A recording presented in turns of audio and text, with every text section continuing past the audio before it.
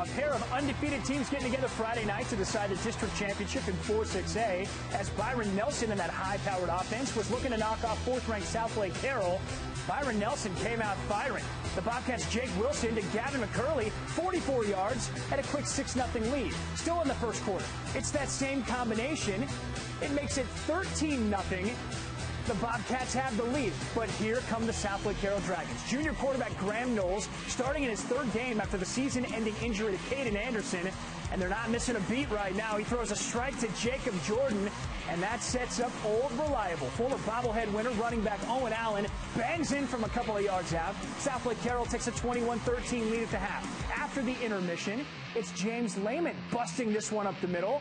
This is a 45-yard run before he would get dropped at the four-yard line. Nice play. And then Allen came into this one with just over 100 rushing touchdowns in his career, giving five more as the Dragons protect the tradition. They win 38-23 to stay undefeated and take the district championship.